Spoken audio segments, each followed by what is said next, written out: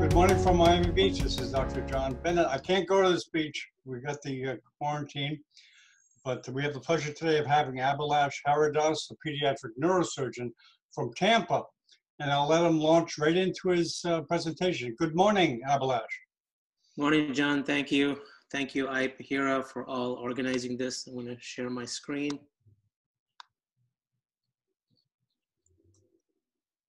Okay, here we go. So I'm in Tampa. Um, we're going to be talking about Moya Moya. We'll jump right into it. Uh, so Moya Moya is a progressive uh, uh, stenosis of the uh, intracranial internal carotid arteries and their uh, proximal branches. Uh, the incidence is slightly higher in the um, Japanese population, but it's also quite common in, in many other parts of the world, including the Mediterranean. when you have uh, moya moya, it can be idiopathic in many cases, uh, but there are also many conditions that are associated with moya moya. And these are a list of the conditions. Um, here, uh, NF1, sickle cell, and Down syndrome are probably the three most commonest uh, uh, uh, reasons to have moya moya. I'm not saying every patient who has these conditions will develop moya moya, but when you see these patients in your clinic, uh, you should have a slightly higher uh, uh, uh suspicion, especially if they come in with uh, stroke-like symptoms, that moya moya is a possible diagnosis. Some of the ones on the bottom are more, they can be associated, but they're not as common conditions. One thing over here, postcranial radiation. We know radiation can cause uh, uh, alterations in blood flow. And uh, if someone has had radiation, especially brain tumors as children, and they've had multiple radiations over their lifetime, they can develop moya moya. So just something to think about. Now, what happens in moya moya? It's not. Uh, it's where it, there's a hyperplasia of the uh, smooth muscle that occurs here, and uh, and this causes the blood to this impedes the blood flow, causing the uh, stroke to, to happen.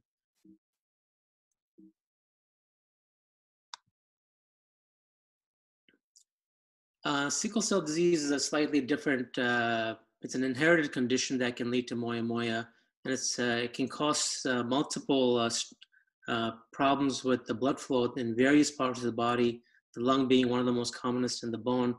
But when they happen in the brain, they can lead to strokes and bone marrow transplant has emerged as a, a very potential uh, uh, cure for some of these debilitating uh, diseases. Specifically with sickle cell disease, uh, uh, transcranial Dopplers uh, can be done on a six month or yearly basis. And when you have an increase in velocity, you have almost a 40% chance, especially when your velocities are over 200 centimeters a second. So sometimes we use this when we are talking to uh, patients uh, and what their stroke risk is.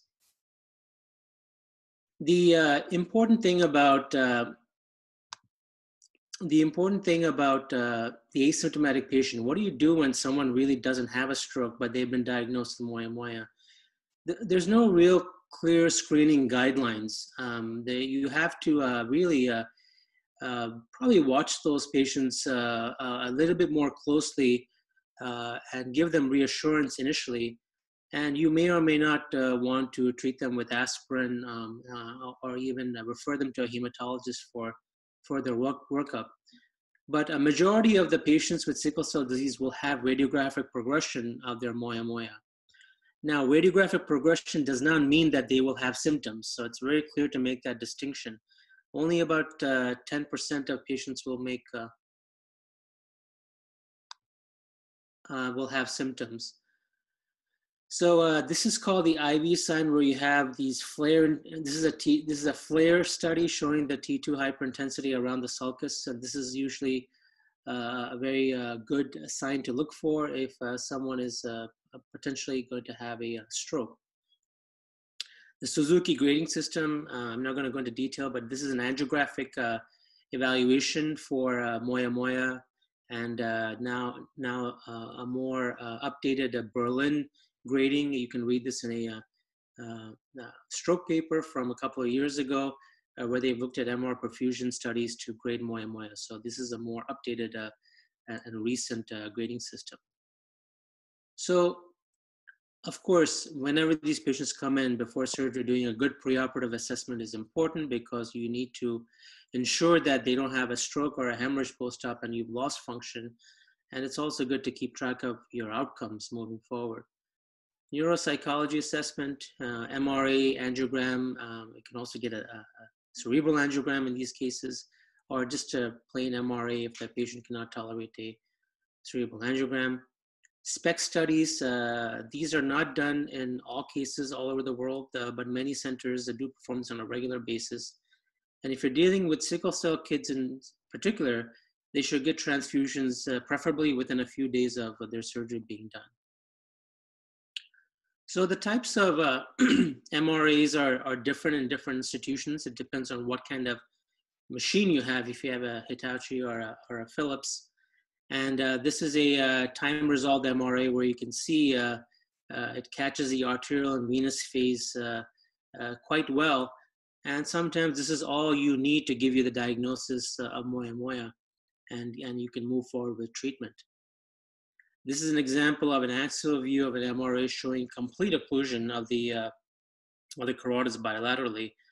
This patient does not have the lenticulostriate uh, hyperintensity or, or, vessels that you would normally see. So this is a very late stage uh, moya moya. This is an example of what the ivy sign looks like I mentioned earlier, where you have the FLAIR changes on both sides of a sulcus. Uh, so this uh, designates uh, uh, patients that are slightly higher risk of developing strokes. And in this angiogram, you can see the, uh, the vessels, the, the, the, puff of smoke vessels that is uh, classically, that's exactly what moya moya means in, in Japanese, puff of smoke. So why, why, what are we really trying to achieve? We're trying to, uh, you know, prevent thrombosis, prevent a stroke. So you want to keep these patients very well hydrated. And uh, if they have preoperative symptoms such as headaches or seizures, you want to address that and see if you can uh, mitigate those symptoms with medication prior to even considering any surgery. So surgery is really not the first option. You want to try to see if you can you can uh, control their symptoms and and uh, uh wait till they develop a um, um, worsening of symptoms. So when when I think about these cases, especially uh, you, uh, you, have to take a step back uh, and not think of this as moya moya, but think of, of the entire philosophy of this talk is flow. You are trying to get flow to the brain where the brain needs it. So, how do you get flow there? Sometimes you have a stenosis of carotid in the neck and you have to replace flow to the entire brain. Uh, you open up flow in the neck and, and, and that happens. If you have a big aneurysm, your goal there is to replace the entire flow to that hemisphere if you're going to take the aneurysm and take the carotid.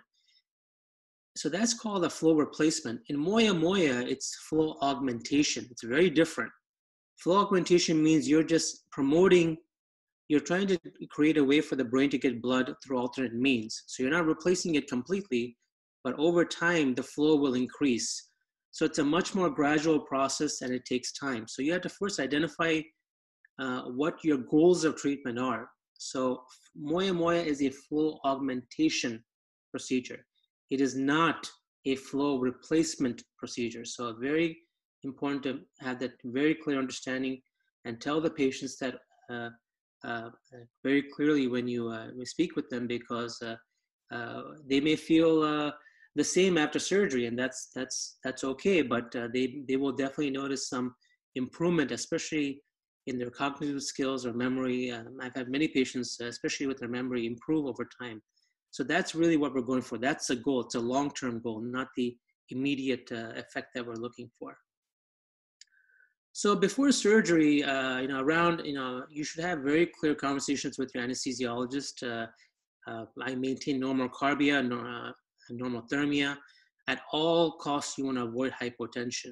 Uh, that is a bad situation. Um, and of course, controlling your blood loss. These are not very bloody cases, but with bad technique, you can lose a lot of blood. Uh, aspirin is continued, is, is started well before surgery, and it's one of the few surgeries where we actually continue it. We don't stop it. If a patient has forgotten his dose of aspirin, you can give it to him per oral, or you can give it per rectal, 325, and that's completely acceptable. The fluids are kept at one and a half to one and a quarter of maintenance, and this is maintained for about two days post-op. And I usually start it the day before surgery. In some centers, you would have to admit the patient uh, prior to surgery, um, uh, but this is also uh, important uh, when it comes to getting patients well hydrated so they tolerate the surgery well. pain control, this is more of an issue with children when they wake up from surgery and they are in pain, they can hyperventilate and that can cause vasoconstriction and uh, you know your bypass can potentially have the chance of uh, of failing. So it's it's something that is not really uh, surgeon's uh, fault, but it's also uh, paying attention to what happens in the perioperative period is just as important as your surgery. And uh, in general, I use absorbable sutures on the younger children just because. you know, I'm tired of hearing them scream when you take them out. So over the years, I've just resorted to this. It's a much more uh, it's much more bearable for both the doctor and the patient. So one, uh, this is a paper into from 2008, uh, Dr. Charbel, uh, Dr. Hanjani, and the team at Chicago. I had the honor and pleasure of training under him, and he's uh, given, you know, uh, taught me bypass surgery when I was a fellow with him. And they developed this concept of cut flow index, where you, I will show you where we do this in one of the videos coming up where when you cut the uh, superficial temporal artery, you measure the, the, the flow within the superficial temporal artery. And after your bypass to your middle cerebral artery, you measure the, you divide these two numbers and you get an index. If your index is over point, over 0.5, then there's a likelihood that your bypass is going to have a very good long-term patency rate. And if your uh, cut flow index is under 0.5, then you have developed a, a potential error. And these are the type of errors you can get first and foremost, poor indication. You probably didn't think, uh, you or you probably falsely assumed the patient had moya moya and you thought a bypass would help. Um, so, you know, sometimes these are things we, we learn in retrospect, like many things in medicine. It's uh, very evident now in the, uh, in the time of COVID, how many things we're learning on the fly. Uh, we have a lot of things we understand about moya moya, but sometimes you wonder why did my patient have a stroke in spite of having a flawless surgery or why did they have a hemorrhage? Um, and the type 2 errors are mostly technical problems where you uh, may have a problem with the donor, your vessel is a problem. You may have a problem with the anastomosis where you uh, uh, do not put enough stitches or there's bleeding from the anastomosis. Stitches or there's bleeding. And uh, the third issue is the recipient. The recipient may not be healthy, and I'll show you one example of that one of the videos coming up. So positioning. Uh, when you position the patient, um, I've seen uh, uh, this surgery uh, performed by multiple surgeons, and uh, usually we are. you can put the patient in pins, the the Sugita clamp or the Mayfield clamp. but if you notice here, this patient, this is the right cheek, this is the right ear, this is a, um, a view from the back. And uh, this is the outline of the superficial temporal artery, and, and, this patient is laying on just a foam donut. Just a, and usually I put a, a sh small shoulder bump underneath the ipsilateral shoulder to just give the neck some relaxation, so there's no uh, uh, restriction of venous outflow.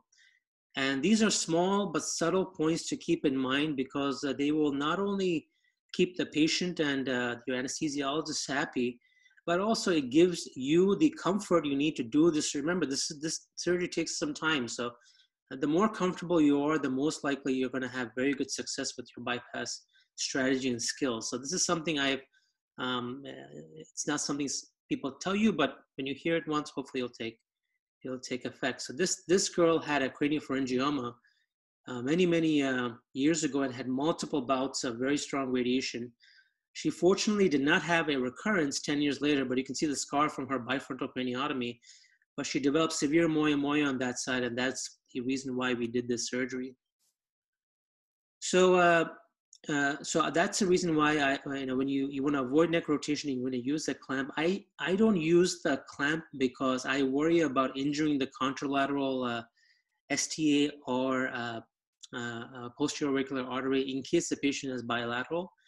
And if the patient has had surgery on the prior side, I worry that I may injure that craniotomy no matter how many years it's been. So it's, it's more of a uh, it's more of a philosophical approach I have, but there's nothing wrong if you pin the patient. So I just want to make that very clear.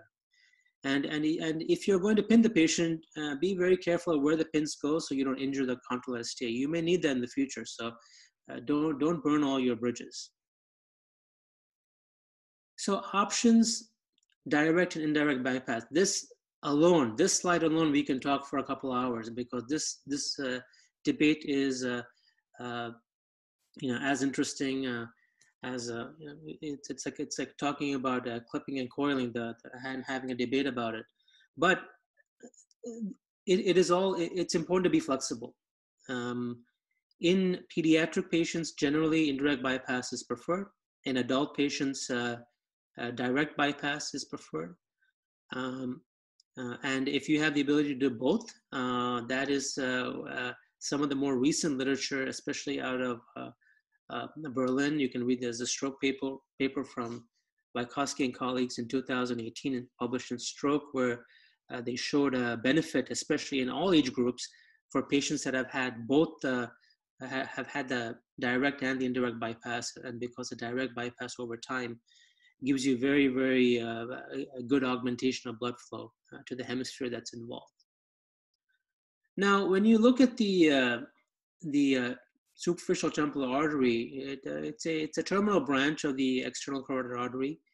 And you can see here, this is the uh, internal maxillary artery, and that it's not shown on this video, on this picture, but the middle meningeal artery comes uh, pretty much in this location and uh, makes a, a, slight hairpin turn on your angiogram. So that's how you um, uh, you uh, you identify the middle meningeal artery. So you don't want to confuse that for your superficial temporal artery, which is roughly about a centimeter away. So it's important to just have that concept. Sometimes you can, you know, it's always a good idea to have a, a very good working relationship with your, uh, if you're not an endovascular person and you don't, you don't have, uh, you don't see these uh, uh scans or angiograms that much, uh, just have a conversation with them. There's a lot of anatomy you can learn just by looking at these scans. This is the super, super, superficial temporal artery parietal branch and, and frontal branch. And uh, this is uh, the bifurcation can be very close to the zygomatic root, or it can be also slightly higher. And sometimes you only have one branch and you don't have the other branch. So all multiple things. Um, uh, sometimes the frontal branch can come up and split posteriorly into, into larger branch. So you can take one vessel and uh, multiply it by three and then to three bypasses. So these are all things to uh, really consider. So uh, just like any neurosurgical procedure you do, uh, anatomy is uh, the, the foundation of, of, of, everything that we do in surgery. So the more you uh, repeat the anatomy, just like surgery, you'll get better at it. And, and you want to confirm your, your anatomical knowledge during surgery and, and, and have an aha moment if, if you say, oh yeah, I knew that extra branch was going to be there. So I'm going to show these, uh, I'm going through these slides uh, just to give you some pointers, but I'm going to reiterate it during the videos so you'll have a very clear understanding. You always want to dissect along the vessel when you're taking out the, uh, um, the STA. You want to dissect parallel to the vessel. You don't want to go, you don't want to go, uh, you want to go along the vessel because if you go beside the vessel, you can, you can tear off the branches and that can make your fleet feel blooding and potentially you can injure the uh, superficial temporal artery. If you're using a, color, uh, a Bovie uh, by, uh, uh, to, to cauterize, make sure it's on a very low setting, around 8 or 10, and use a Colorado tip, which is a needle point. Don't use a broad tip because you want to be very, very fine. Uh, it's so you, it's not you're not painting it with a brush. You, you're doing very fine strokes right over the vessel. Extremely important. And uh, I'm, I'm telling you this because uh, I've injured the vessel and it's, it's very, very disheartening when that happens. And it's purely technique. So uh, very important to keep that in mind. Uh, Doppler frequently, if you're beginning to do this, use your Doppler. Don't, don't be shy. Uh, just if you hear it, then you can see it and then you proceed forward. I start usually distally in the head and then go uh, proximal. Uh, you can start in the middle and go that way too, but uh, I like to, to go distal and, and work my way proximal. And uh, you can use skin markings. You can mark directly over the skin uh, and uh, you, do, you should not use any injection or use local anesthesia because you can obviously injure the superficial temporal artery, which is your friend in this case and, and not your foe. So this is a uh, video. I'm going to go through this uh, to give you those steps. This is a young boy. Uh, he's about uh, just under two years. You can see we're out. This is the right side. Um, we're outlining the frontal branch of the superficial temporal artery and then the parietal branch. You can see there's a branch coming up here. Um, and uh, this is just outlining the parietal branch over the, and I used this to plan my craniotomy. He had both uh, uh, uh ACA and MCA territory infarctions, and this is the this is under the microscope. I, I do the dissection on the microscope. This is a, a technique um, um, I learned from uh, Professor Tanikawa in Sapporo, uh, who is a, a fantastic uh, vascular surgeon. And you can see the superficial temporal artery coming into view and going right next to it and then bipolaring it and, and, and basically uh, moving it away from the vessel. This is the other technique where you use a, a, a bovie and you come directly over the vessel. The reason you want it under a low setting is because if you have it under a high setting, it'll transmit through your um, uh, mosquito into the vessel and damage the vessel. That's why you want it at a low setting. And uh, now we have exposed the, the STA. We, uh, we slowly start to uh, come uh, posteriorly. Uh, again, you, this is going right next to the vessel. take your time. You want to use your bipolar carefully. You don't want to just burn everything because if you burn everything, you're basically burning the skin edges and you will have a postoperative infection or wound breakdown. This is a, a, a rule for any neurosurgical case, but even more important with these cases. Uh, you know, respect the tissues and, and they will respect you back. So once this is done, you can release it, uh, the STA. You can, you can see this in my left hand is a atraumatic forceps. Uh, so if someone gives you a, a tooth forceps, just happened before. Um, uh, please don't use it because you will damage the vessel. And now we have harvested the STA. So now we are extending our incision anteriorly up to widow's peak. And uh, these are just Raney clips to uh, control bleeding. And uh, this is now bringing your musculocutaneous flap anteriorly. These are fish hooks. And now I'm protecting the STA under and posteriorly and both branches have been harvested, okay? Now this is a young child, so you can see the temporalis muscle is very thin. We, uh, I saved this temporalis muscle for the end of the case to promote the indirect bypass, which is the uh, uh, myosynoangiosis. I'm making a burr hole. You can see that skull is very, very thin. Be careful here. This is where your bypass, your vessels are. So you see my drill is very close to it. Uh, uh, I would definitely have someone protect the vessel so you don't catch the vessel in your drill. Um, drills are very good, but they're also very dangerous in the, in the wrong area. These are dural tack-up sutures to prevent any uh, epidural bleeding. Um, and now we are opening the uh, dura. The dura is opened, uh, is tailored. You don't, if the patient has, uh, this is a, this is the dura being uh, flipped underneath to promote the indirect uh, bypass. And here I, I'm trying to preserve the middle meningeal artery and uh, again making a triangle around there to uh, promote the um, indirect bypass. Now, uh, this is the frontal branch that uh, we are seeing now. Um, when, when you, uh, it's the same technique. You can use a scissor. I'm showing you all these uh, different techniques because you, you develop your style. You don't have to do it this way all the time, but whatever works fastest, and you have to be efficient. You don't want to spend all day doing this because you have to you still have to do the bypass, which is going to take more of your attention and your energy. So uh, try to be as efficient in this part of the, of the case, but be safe also. Now, once the vessel is harvested, it is very important to, uh, again, this is all done under the microscope. So you should have very clear understanding of the anatomy. This is taking the adventitia off of the uh, vessel. Uh, have an assistant hold it to give you some counter traction. A lot of irrigation. You can see the irrigation coming on. We're using a, a pen just to mark it and then of course fish mouthing it. Uh, try to be very gentle with the tips. This is a 27 gauge uh, needle to in, infuse the interior of the vessel with the heparinized saline, about 10 units per ml. Now we have both vessels exposed. Now the dura has been opened. Um, taking out the arachnoid uh, is important. You, this is just a piece of glove. The glove that you use, just use that. There's other multiple uh, uh, materials that can be used, but I, I found this very, it's, it's cheap and you can use it pretty much anytime. Some people don't even use a, a, a rubber dam. So again, be flexible. Uh, that's that is the uh, thing with bypass surgery. Just do what you feel comfortable. But these are just to tell you there are options you have. This is isolating an M4 branch on the cortical surface. Now this is a 11 blade. Um, you can use something smaller like a needle and, and make your opening in the vessel. And now we're doing the heel and, uh, and toe stitch. This is the uh, this is a toe stitch. This is a 10 needle, uh, BV753. I'll show you that in one of the slides coming up. And once you do the heel and toe stitch, you can you can tie this down. And uh, again, uh, I use the microscope and do this under high magnification. And and I also use the foot pedal and the mouth switch. Uh, this is purely uh, something habitual. If you enjoy uh, using the mouth switch, go ahead. Uh, but if you don't, then then please don't. That's this is your maybe it's not going you're comfortable with. When you get back, when you get bleeding like this after the bypass, that's actually a good sign. That means there's blood flowing through there. Uh, it's better than having no flow. But it can be very easily controlled with just some irrigation. And then you can see this has a, uh, you're taking off the final clip and this should have like a, the appearance of a, either a, a, like a cobra head or like a, an elephant's paw.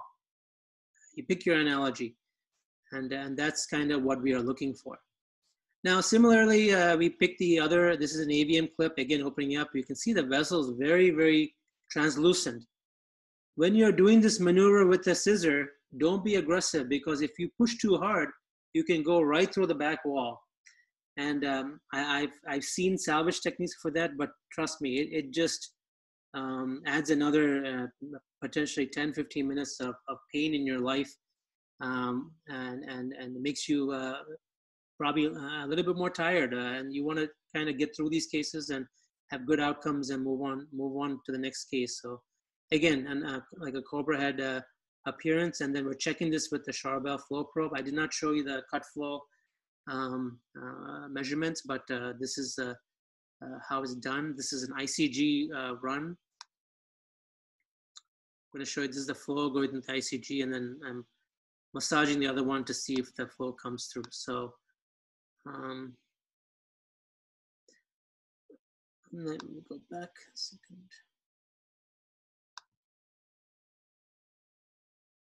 Yeah, so this is taking, this is where we take off the temporalis muscle and we suture it directly to the inferior part of the, remember, right, this is the right side, right ear is here. And we use that to do the indirect, by, the indirect bypass. So this is the EDAMS portion. Make sure you have a generous opening, especially in the, the temporal part. That will be where your bypass comes in. And because this is a young child, I use sutures to close. And of course, standard skin closure. And I leave a drain almost always to very low suction. So I'm going to be showing you some more videos coming up, but just want to reiterate, we aspirin is kept the whole time. We don't stop it.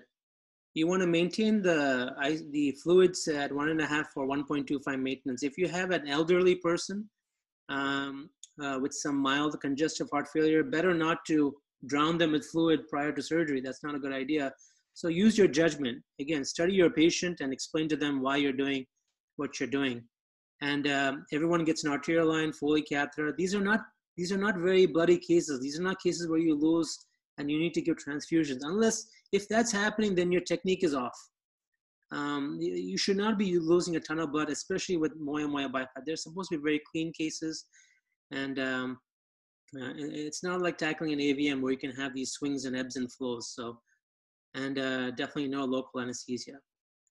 I put up this slide to just give you an idea of how um, the, the, the, people have asked me many times, how much do you give? Uh, uh, um, you know, um, depends if I take care of children and adults with moya moya. So if you have a child, you want to use 10 per kg of aspirin, or, or if an adult, you can use a baby aspirin, even 325.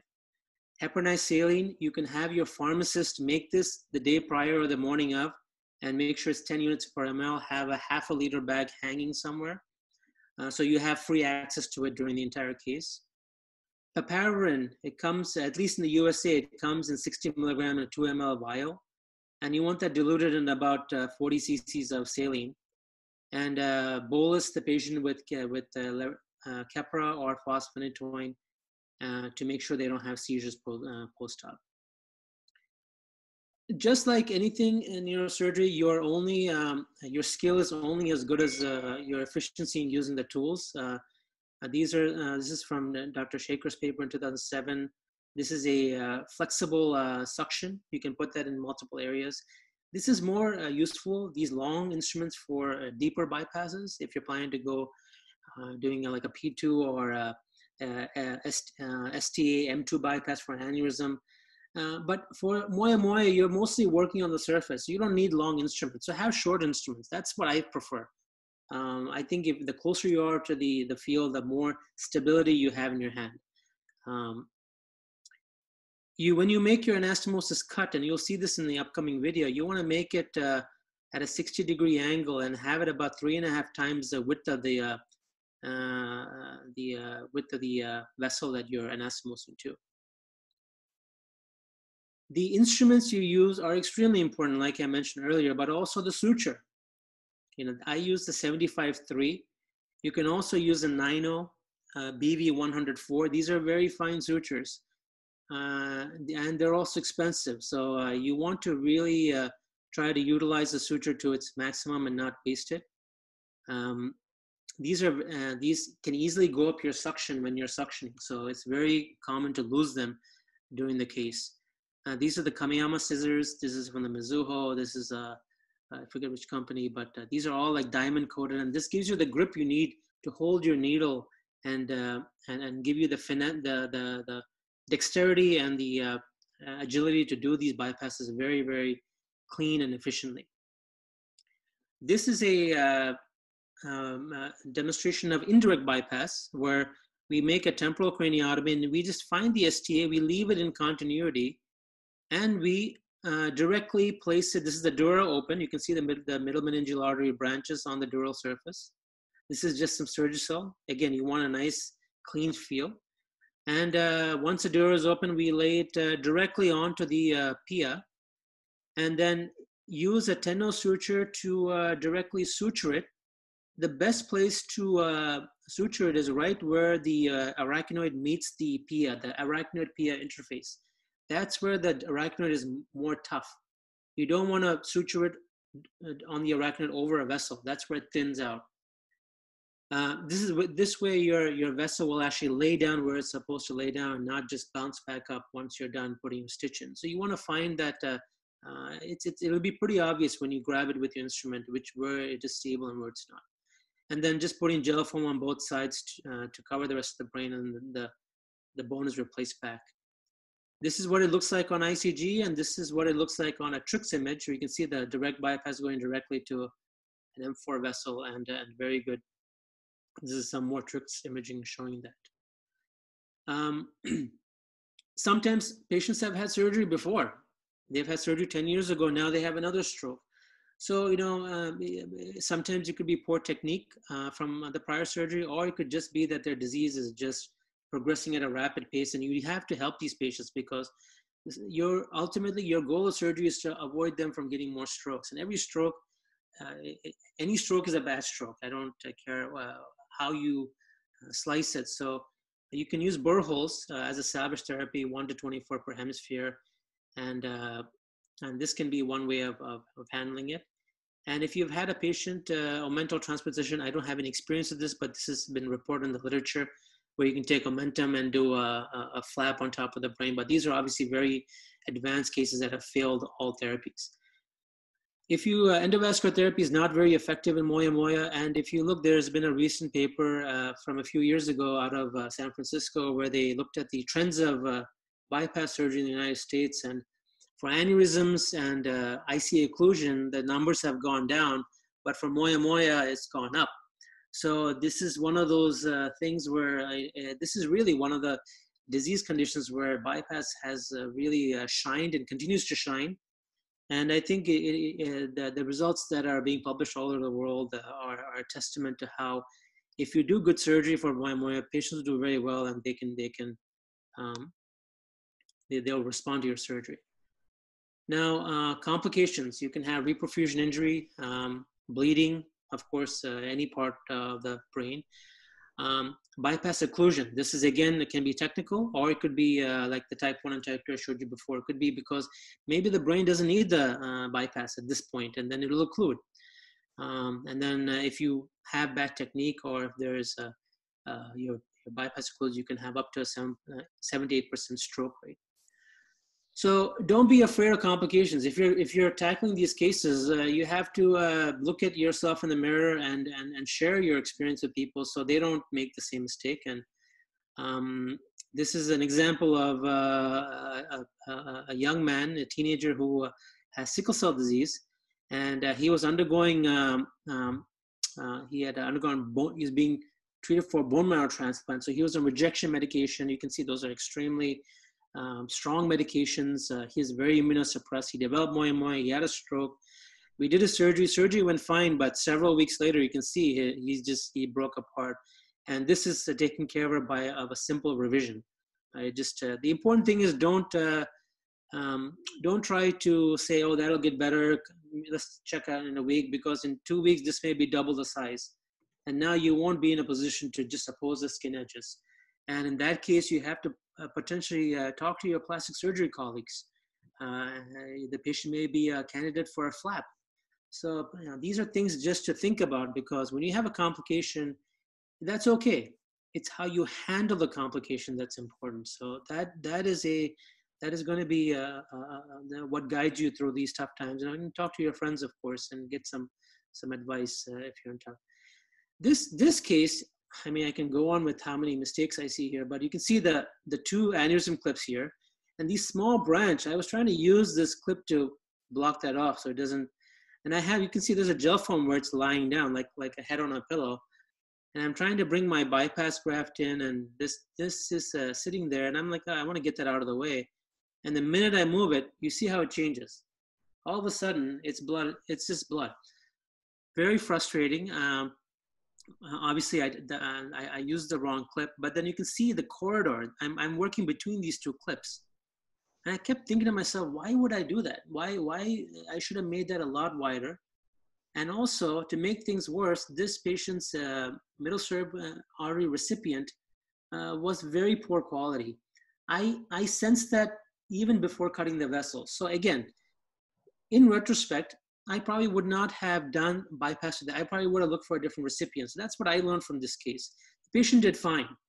Uh, but it just goes to show when these things happen, especially during surgery, you're by you're by yourself or with your partner.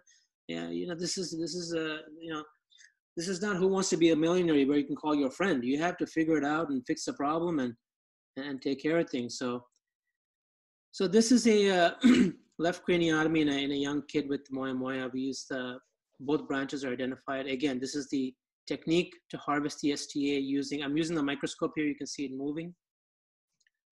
This is the frontal STA. One point I forgot to mention, when you're harvesting the STA, use a pen and mark the top of the, the dorsal surface of the vessel, like here. This way it doesn't twist. Because after your bypass, if your if your bypass twists, you're failed. So, and this is filling it up. It just fills up like an anaconda with heparinized saline. And uh, here we're preserving the middle meningeal artery. I've kept the parietal branch in situ and uh, using very fine, pick up the arachnoid and cut the arachnoid. I'm trying, this is the recipient vessel that we're seeing here. Cut the arachnoid very carefully, take your time, um, uh, very gentle movements. Spend a lot of time here. You want to, uh, you want to create a nice white background so you can have the contrast. And take the adventitia very, very cleanly and safely. And you'll see the assistant is, my assistant is completely uh, irrigating the field. It has to be wet. And that glistening uh, adventitia will come into view. And it has a slightly purplish uh, color. Uh, this vessel is about a millimeter wide. I think we're measuring it. Yeah, we're measuring it. You can see it's about a millimeter wide. Find your, this is a, uh, uh, find your recipient right here. You can see, is, compared to the last slide, you can see how there's much more length here. So just, you know, uh, you, you, you do your uh, uh, heel stitch and toe stitch. I put, I've isolated the arteriotomy. And this is the standard Levin blade. If you're not comfortable, you can use a 25 gauge needle. Uh, and then uh, there's also Potts scissors to do this, but I used to use a, a micro scissor. And uh, you can see the, the, this is now the um, toe stitch going in. It's a 10-0 needle. and uh, once you get that stitch in, you have to uh, start, I do an interrupted suture on both sides. Um, uh, theoretically, these tend to grow over time as opposed to continuous. And if you have made a mistake with interrupted suture, you can always take it out. And you can see how I'm lifting up the edge here. You want to get the adventitia, uh, the sorry, the intimal layers opposed like this, not like this and uh, make your make the tail of your uh, suture small so it's easier to tie. You don't want to go up and down on the field. You want to come be as close to the vessel so you can and uh, and tie it uh, and uh, stay in one area. You can see the, all the actions taken care of right next to the vessel. And you can see there's multiple sutures on either side uh, of the vessel, about eight to eight to nine. And then once this is done, I like to zoom out with the foot pedal and then zoom back in. This way, uh, because you're working at a very high manifestation, you don't want to injure something on the way in. And then once you're uh, done with your bypass, you can see it's pumping away. That's a good sign. But just because it's pumping doesn't mean that it's flowing. You have to check it. And this is the uh, this is the Insight 2.1. You can see the the flow is going through uh, very well. And in this ICG, you can also see the different uh, stitches, uh, the little black dots where the stitches are. And that's the rest of the video. The other uh, vessel, we used it for a um, indirect bypass. So with bypass surgery, uh, patient selection is paramount. Uh, please plan accordingly. Um, whenever I plan these surgeries, these are elective cases, I am never on call the night before.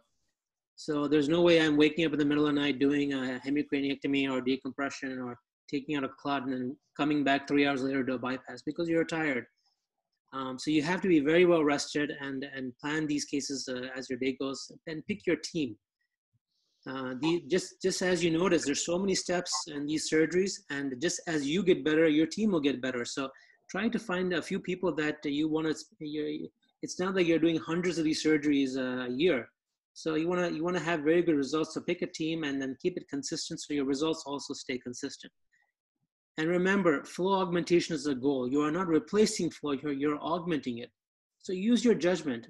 Don't be uh, um, enamored by direct, and indirect. They all work, but it's what works best in your hands.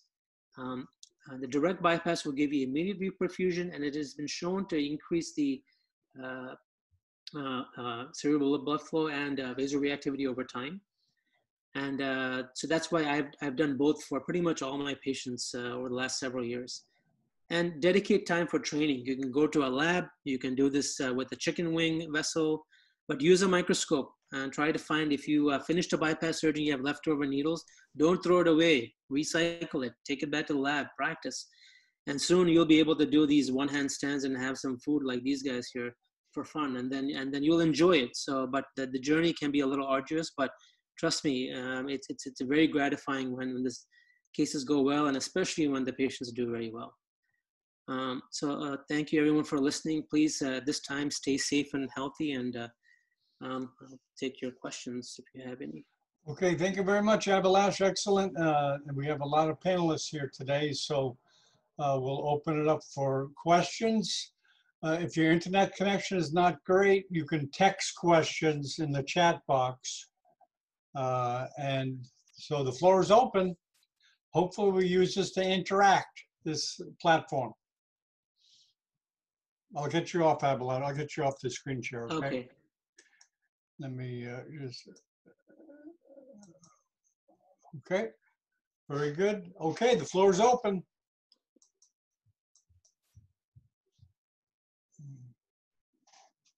I have access to the, uh, you can even type in your question if you have it. I can see the questions.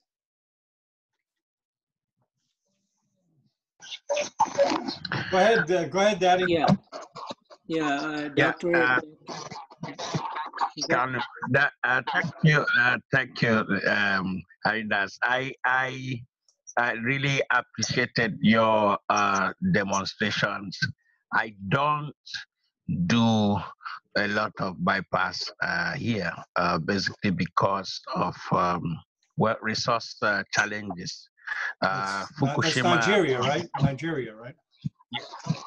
Uh, Fukushima uh, taught me uh, a lot of um, bypass techniques uh, when I had him, but it's been a bit difficult. Then you have to have uh, good patient selection uh, before one begins to go at that. But when they present late and then patients are not financially, you know, up to it, then it becomes difficult to do those things. Um, thank you very much. Uh, and on a lighter note, you said uh, you can't phone a friend. Sometimes you might need to phone a friend. if you, if you, yeah. Very true. If you if you if you run into trouble, uh, uh, an extra hand may just help. Thank you very much. Thank you. Uh, thank you. Dr. Kane, for your comments and uh, appreciate it. Uh, I think uh, with these cases, uh, you have to uh, keep an open mind, and uh, I completely agree. many places do it very differently, and but at the same time, ultimately, if if as long as the goal is the same, like we are all here to learn, um, it doesn't matter how you approach it, as long as your intention is is very clear, and of course, most importantly, the patient does well. So thank you for your comments. There's one question here about uh, from Dr. Siddharth Agarwal regarding the cut flow index. So the cut flow index, uh, I, I, didn't I didn't highlight it here for time, but basically when you have the STA, you uh, the initial step is to you have to have the Charbel flow probe. So you have to have that um, uh, in your hospital, and uh, this probe will measure the uh, the flow within the vessel uh, of the cut STA. So that's that's number one. Number two, once you're done with your bypass, you measure flow through the through your bypass, and then you divide those two numbers, and that gives you the index. So if you have an index over 0.5, that's excellent. So if your bypass when you cut it is supplying 10 cc's uh, per minute, and after your bypass, it's providing 10 cc's per minute, that's an index of one, which means that your patency is going to be your bypass is going to survive uh, based on the uh, uh literature on cut flow index. Uh, now, um, uh, I'm not saying that every surgeon uses the cut flow index, but if you have this ability, this is just another parameter you can use to highlight validity in your cases and also uh, to give you a confidence that uh, that your bypass is uh, most likely going to stand the test of time. Now, of course, if your bypass fails over time, you can always look retrospectively and see uh, and question the cut flow index or, or, find out if your technique was bad, but that comes under the type 2 uh, um, error.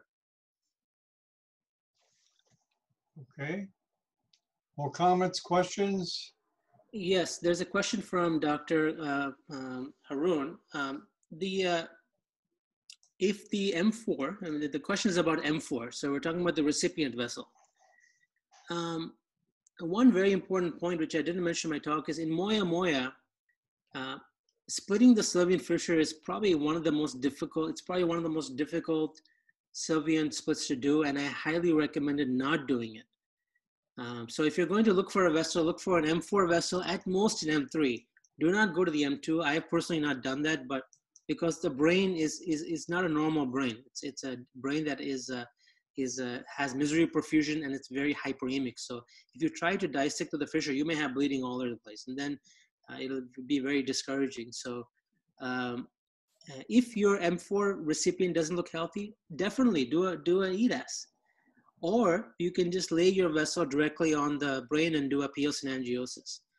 Uh, so it's very important. Sometimes I keep both vessels uh, in continuity, identify my recipient before cutting it.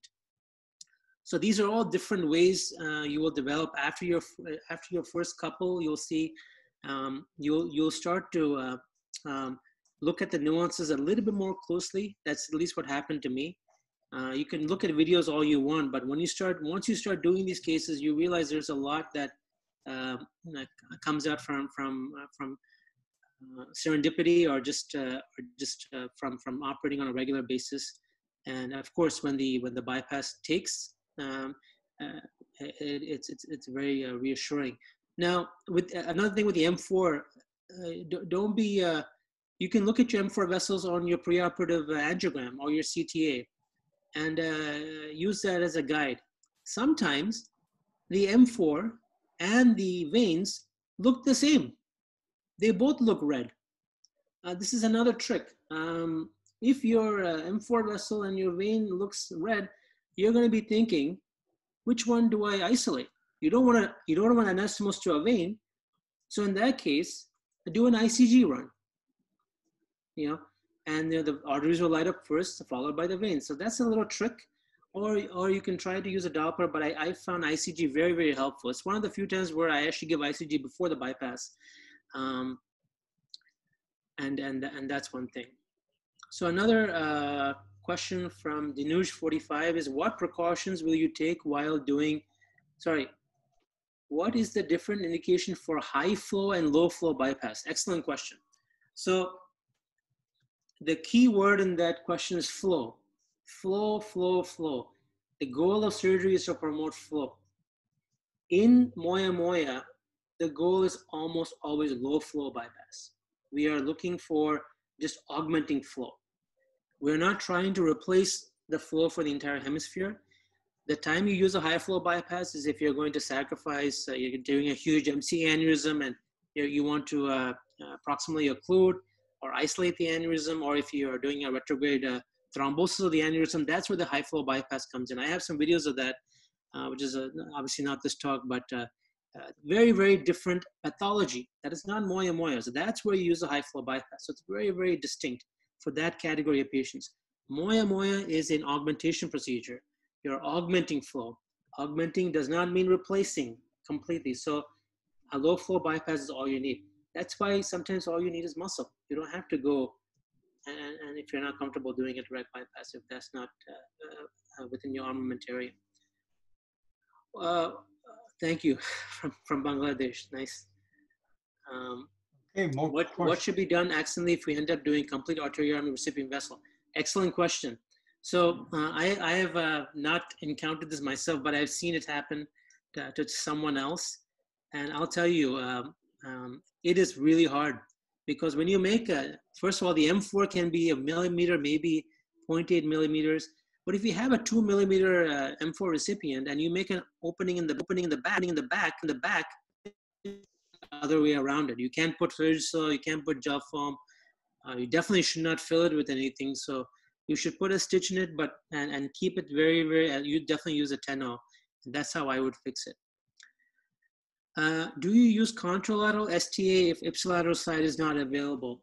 The, I, I have not. Uh, I have not uh, used the contralateral STA or attempted a, uh, um, um, you know, of course, with, with contralateral STA, what comes to my mind is the Bonnet bypass, which uh, uh, Dr. Uh, Baskaya gave a fantastic presentation. If any of you missed it, you should watch it from a few weeks ago with the Bonnet bypass. But no, I, I think in that case, I would tell the patient that we will just do an indirect uh, bypass. You can potentially also see if the posterior auricular artery is available. Uh, we don't talk about that much, but that's behind the ear. And see if you can flip it anterior to, to, to help you with this. So um, uh, these are the, the different uh, tricks. Okay, I wonder if Dr. Goel, Dr. Goel, are you there? If he'd like to comment. Um, he may have stepped away. Okay, the floor is open for anyone else that wants to say hello or just ask a pointed question or comment?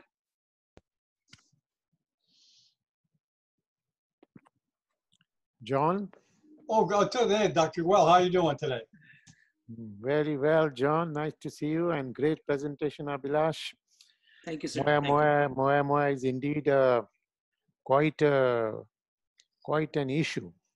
And there are various issues. And what you suggested is the key word is the flow flow is not there and you have to introduce the flow that is the key word and how you introduce that flow is by various maneuvers as you have suggested.